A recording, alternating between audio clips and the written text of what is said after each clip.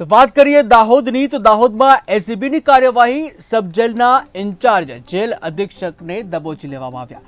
Jail મુક્ત કરાવવાના જે દસ હજારની માંગણી કરી હતી અને જ્યાં એસીબી ગોધરાએ લાંચ લેતા રંગે હાથે ઝડપી પડ્યા હતા. ત્યારે આરોપીને ઝડપી આગળની કાર્યવાહી હાથ ધરી.